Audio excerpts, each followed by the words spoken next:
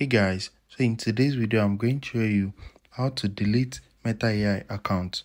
So if you want to delete your account on Meta AI, let me show you.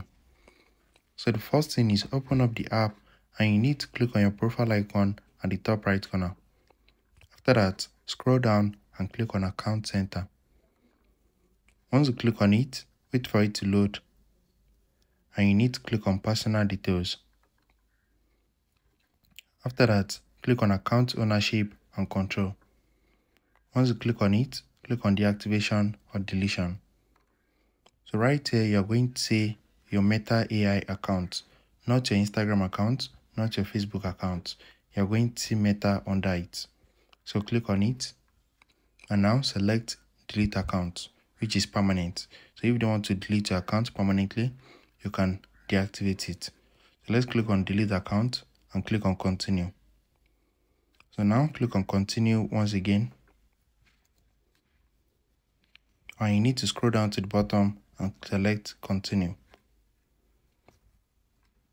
So right here, you need to enter your Meta AI password. So if you don't have a password, click on create a password right here. Once you click on create a password, you need to enter your email. So if you linked your Instagram account, just enter your Instagram account email and click on find account. Once you click on find account, you're going to send the code to your email. Just check your email and I'm going to see the code. So it's going to take a few seconds before you receive it. So let's try this one.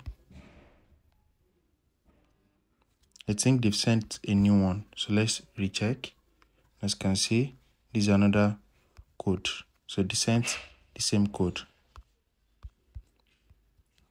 So paste the code that you received right here and click on continue. And now you need to create a password. I'm going to click on save. And now once you've created a password, click on done at the top and you need to enter the password that you just created.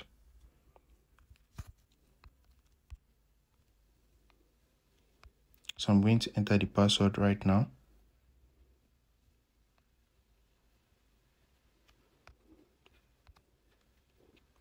Once you enter the password, click on continue at the bottom. And as you can see, confirm permanent delete account, click on delete account.